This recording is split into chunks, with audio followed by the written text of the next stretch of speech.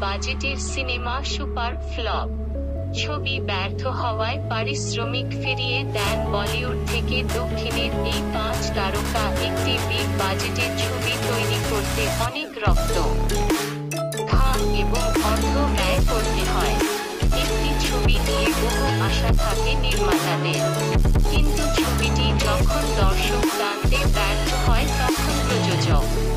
পরিচালকদের যে আর্থিক ক্ষতি হয় তা বলার মতো নয়। এমতাবস্থায় চলচ্চিত্রের অনেক তারকাই এই ক্ষতির দায় নিতে এগিয়ে এসেছেন এবং ক্ষতিপূরণ হিসাবে তাদের পারিশ্রমিক ফেরত দিয়েছেন।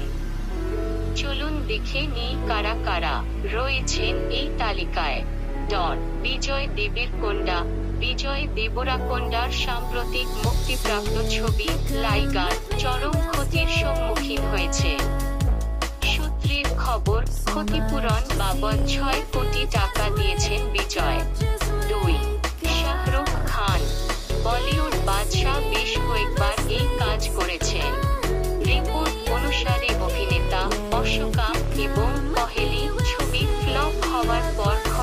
পঞ্চাশ শতাংশ ফেরত দিয়েছিলেন তিনি।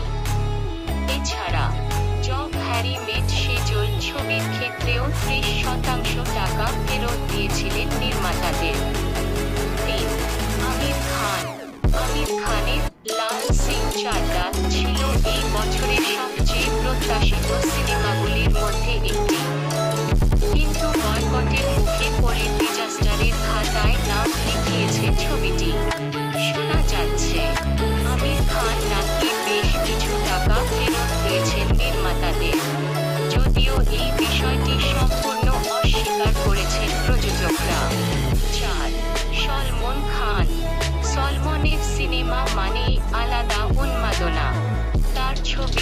ফ্লপ হয়েছে। এমন উদাহরণ খুব কমই আছে।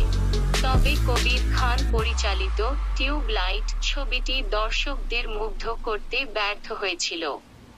সূত্রের খবর, সেই সময় নির্মাতাদের বত্রিশ কোটি টাকা ফেরত দিয়েছিলেন সলমন। পাঁচ, রজনীকান্ত। রজনীকান্ত আমাদের ফিল্ম ইন্ডাস্ট্রির জীবন্ত কিংবদন্তিদের একজন।